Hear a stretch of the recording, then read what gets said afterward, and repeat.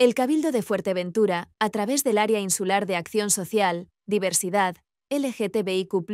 Participación Ciudadana y Gobierno Abierto, que dirige Víctor Alonso, colabora con la Asociación Alti High Fuerteventura, colectivo LGTBI,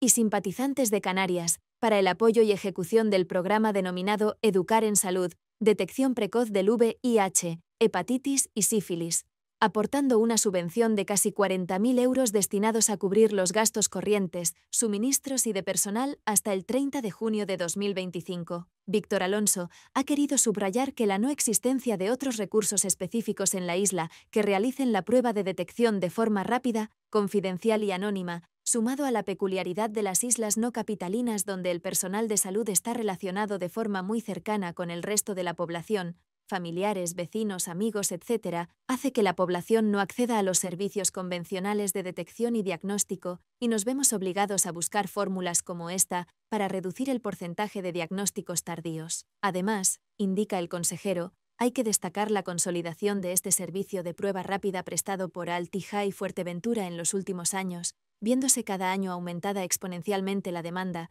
mejorándose su profesionalización y creciendo el equipo de profesionales sanitarios voluntarios.